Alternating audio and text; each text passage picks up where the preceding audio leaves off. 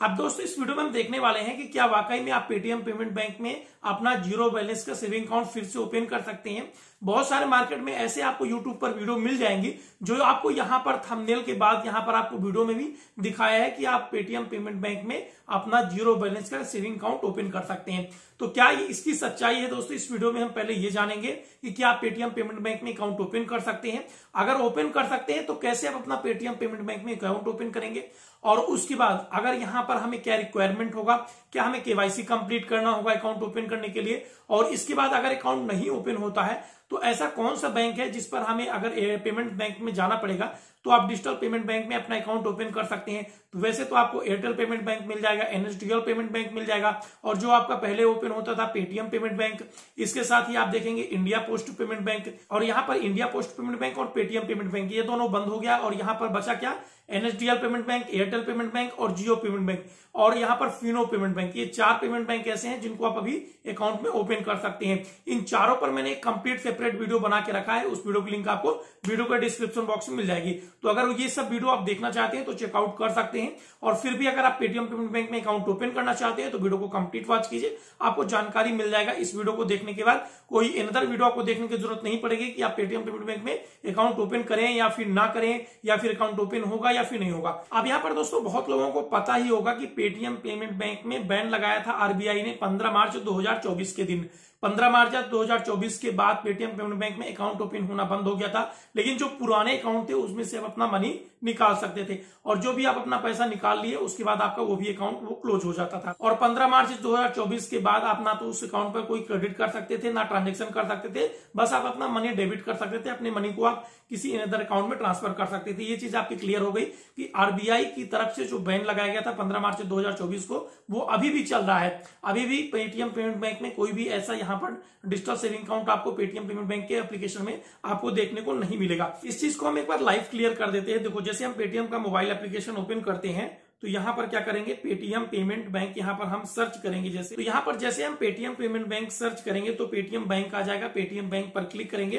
तो यहाँ पर आप सीधा सीधा यहाँ पर क्लियरली देख सकते हैं। Thank you for sharing your interest और Paytm payment bank is temporary not opening new account we will notify once we are ready अब यहाँ पर दोस्तों, अभी भी आरबीआई की तरफ़ से यहाँ पर बैन नहीं हटाया गया है, ना तो आप पेटीएम पेमेंट बैंक में कोई अकाउंट ओपन कर पाओगे जो इनका मोबाइल एप्लीकेशन है। दूसरा तरीका यहाँ पर क्या है दोस्तों कि बहुत सारे लोगों ने हवा बना के रखा हुआ है कि पेटीएम पेमेंट बैंक का आप वेबसाइट के थ्रू अकाउंट ओपन कर सकते हैं। तो चलिए यहाँ पर वेबसाइट पर भी हम देख सकते हैं क्या होता है मोबाइल एप्लीकेशन में कभी कभी अकाउंट ओपन नहीं होता है तो वेबसाइट से ओपन हो जाता है। तो चलिए यहाँ पर कभी कभी अपडेट भी नहीं आता है तो चलिए यहाँ पर भी हम एक बार क्लियर कर लेते हैं।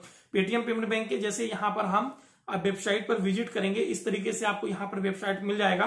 तो थोड़ा स्क्रॉल करके नीचे आएँगे तो यहाँ पर भी क्लियरली बोला जा रहा है कि इनके मोबाइल एप्लीकेशन के थ्रू आप अकाउंट ओपन कर पाएँगे। यहाँ पर नीचे आएँगे, कोई भी यहाँ पर अकाउंट का फ़ीस एंड चार्जेस नहीं है और रिस्क फ्री डिपॉजिट है वीज़ा डेबिट कार्ड मिलेगा आपको और यहाँ पर दो परसेंट का इंटरेस्ट मिलेगा, वो भी आपको एनुअली क्रेडिट होगा और रियल टाइम अपडेट पासबुक मिल जाएगा हाईली सिक्योर है। अब यहाँ पर दोस्तों सिक्योर अगर होता ना तो पेटीएम पेमेंट बैंक बंद ही नहीं होता। आरबीआई की तरफ़ से जो बैन लगाया गया, वो बैन इसलिए लगाया गया क्योंकि पेटीएम पेमेंट बैंक आपके डाटा को लीक करता था, इसलिए पेटीएम पेमेंट बैंक में आरबीआई ने बैन लगाया था। नीचे आएँगे, यहाँ पर देखिए इस तरीके से डेबिट कार्ड हमें मिलता था।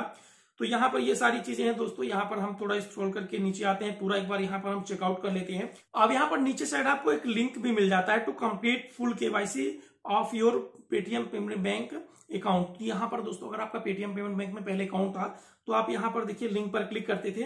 तो यहाँ पर complete your KYC near KYC point पर विज़िट करके आप अपना केवाईसी कंप्लीट कर सकते थे। इसके पहले भी मैंने आपको बताया था कि आप जो है तो ऑनलाइन भी घर बैठे आप कैसे अपने अकाउंट की फुल केवाईसी कंप्लीट करेंगे। इस पर भी मैंने सेपरेट वीडियो बनाया कि पेटीएम पेमेंट बैंक या फिर पेटीएम अकाउंट की आप अपनी फुल केवाईसी कैसे कंप्लीट करेंगे। वीडियो केवाईसी के थ्रू आपके अकाउंट की फुल केवाईसी हो जाती है। तो आप अपना वैलेट एक्टिवेट कर सकते हैं। और अनलिमिटेड आप ट्रांजेक्शन कर सकते हैं। यहाँ पर दोस्तों, ये तो क्लियर हो गया कि पेटीएम पेमेंट बैंक का जो डिजिटल सेविंग अकाउंट था, वो अभी ओपन नहीं हो रहा है। लेकिन यहाँ पर हम थोड़ा स्क्रॉल करके अगर हम नीचे आते हैं तो यहाँ पर आपको एक ऑप्शन मिल जाता है बिज़नेस अकाउंट का। सेविंग बैंक अकाउंट के नीचे बिज़नेस अकाउंट मिलेगा। इस पर हम क्लिक करेंगे। तो देखिए, इस तरीके से बताया जा रहा है कि आप बिज़नेस अकाउंट ओपन कर सकते हैं। तो यहाँ पर थोड़ा स्क्रॉल करके नीचे आते हैं और इसकी भी सच्चाई हम जान लेते हैं। तो एम इंटरेस्टेड का ऑप्शन मिलेगा, इस पर आप क्लिक करेंगे। एम इंटरेस्टेड वाले ऑप्शन पर क्लिक करेंगे तो यहाँ पर बिज़नेस बैंकिंग मिल जाएगा। तो यहाँ पर चलिए हम सेलेक्ट प्रोडक्ट पर क्लिक करते हैं। तो यहाँ पर हमने बिज़नेस अकाउंट अपना डाल दिया। यहाँ पर अपना फुल नेम दे देंगे एज पर डॉक्यूमेंट्स नीचे मोबाइल नंबर अपना डाल देंगे। नीचे यहाँ पर आप बिज़नेस का टाइप डाल देंगे बिज़नेस का नाम यहाँ पर डाल देंगे बिज़नेस का कंप्लीट एड्रेस फिल कर लेंगे बिज़नेस की ईमेल आईडी डाल देंगे और बिज़नेस का पिन कार्ड का नंबर डाल देंगे और सिटी डाल देंगे। देखिए सिटी कौन कौन सी है? यहाँ पर कुछ मोस्टली आपको सिटी मिल जाएगी। जैसे दिल्ली, मुंबई, पुणे, कोलकाता, बेंगलोर, हैदराबाद और चेन्नई। यहाँ पर पाँच छह सिटी है जो यहाँ पर आपको, जहाँ पर अकाउंट ओपनिंग की फैसिलिटी या बिज़नेस अकाउंट की दी जाती थी। लेकिन दोस्तों, आगे हम देखेंगे क्या अकाउंट ओपन भी हो सकता है।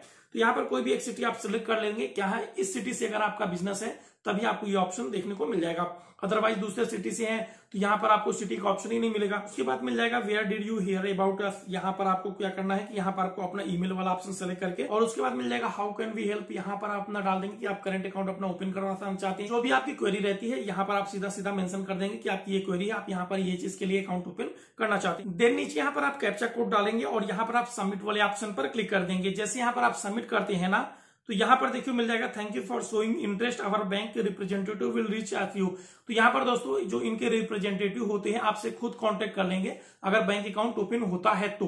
अब यहाँ पर मैं आपको क्लियर बता दू दोस्तों यहाँ पर कोई भी आपके पास कॉल नहीं आएगा, कोई भी यहाँ पर बैंक अकाउंट ओपन नहीं होगा, क्योंकि पेटीएम पेमेंट बैंक के अंदर ही आप चाहे सेविंग अकाउंट ओपन कीजिए या फिर करेंट अकाउंट या फिर बिज़नेस अकाउंट। जब पेटीएम पेमेंट बैंक यानी बैंक ही बंद हो गया तो क्या सेविंग अकाउंट ओपन करेंगे, क्या करंट अकाउंट या फिर डिजिटल अकाउंट, कोई भी अकाउंट आप ओपन नहीं कर पाएँगे। ये चीज़ आपको एक बार अपने दिमाग में बैठा लेनी है। तो कोई भी ऐसी वीडियो आपके चक्कर में नहीं पड़ना है, जो आपको ये बताते हैं कि आप पेटीएम पेमेंट बैंक में ऐसे अकाउंट ओपन कर सकते हैं, जिससे आपको ऐसे लिंक पर क्लिक करवा देंगे, जिससे आपके साथ फ्रॉड भी हो सकता है। मोबाइल का पूरा डाटा उनके पास पहुँच जाए या फिर आपने जो प्रीवियस बैंक अकाउंट का डिटेल्स आपको वहाँ पर प्रोवाइड करने को बोलेगा उस बैंक अकाउंट की डिटेल आपने प्रोवाइड कर दिए तो आपके साथ फ्रॉड हो सकता है बैंकिंग फ्रॉड तो ऐसे चक्कर में आपको नहीं पड़ना है दोस्तों जनरली आपको बता दू मैं कि पेटीएम पेमेंट बैंक बंद है तो आप कोई भी बैंक अकाउंट ओपन नहीं कर सकते। अगर ओपन करना है तो आप एयरटेल पेमेंट बैंक या फिर Fino payment bank NSDL payment bank आप पर अकाउंट ओपन करके अपना जो है तो काम चला सकते हैं। अगर दोस्तों इन सबको छोड़ दीजिए तो मैं आपको क्लियरली एक बता दूँ कि आप यहाँ पर इंडस्ट्रियल बैंक का इंडी ज़ीरो बैलेंस का सेविंग अकाउंट ओपन कीजिए, फ्री में आपको वर्चुअल डेबिट कार्ड मिल जाएगा और आप वीडियो केवाईसी के थ्रू आप अपने अकाउंट की फुल केवाईसी भी कर पाएँगे और आपको ब्रांच विज़िट नहीं करना पड़ेगा। आप अपने अकाउंट को फ़ोन पे पेटीएम गूगल पे के साथ लिंक करके यूपीआई ट्रांजेक्शन कर सकते हो अपने अकाउंट को आप अनलिमिटेड ट्रांजेक्शन भी कर सकते हो। कोई भी यहाँ पर मैंडेटरी नहीं रहेगा कि आप इस अकाउंट को ही ओपन कीजिए। और अगर दोस्तों आपको विदाउट वीडियो केवाईसी अकाउंट चाहिए तो आप एयरटेल पेमेंट बैंक की तरफ़ जा सकते हो। एयरटेल पेमेंट बैंक की तरफ़ भी आपको यहाँ पर मिल जाएगा कि कैसे अपना अकाउंट ओपन करना है। इन सब पर सेपरेट वीडियो आपको वीडियो के डिस्क्रिप्शन बॉक्स में मिल जाएगी तो डायरेक्ट आप चेकआउट कर सकते हो। तो दोस्तों, इस वीडियो में इतना ही। अगर दोस्तों आपको वीडियो पसंद आए तो वीडियो को लाइक कीजिए, अपने फ्रेंड के साथ शेयर करिए। मन में कोई कंफ्यूजन है तो नीचे आप कमेंट कर सकते हैं। और चैनल पर नए तो चैनल को सब्सक्राइब करके वेलाइकन ज़रूर प्रेस कर लीजिए। मिलते हैं फिर एक इंटरेस्टिंग वीडियो के साथ। तब तक के लिए जय